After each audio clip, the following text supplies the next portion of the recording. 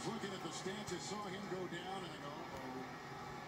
I don't think it was a big tweak, but he certainly tweaked his ankle. He's got pretty good regularity, though, walking off. What if they'll sub him?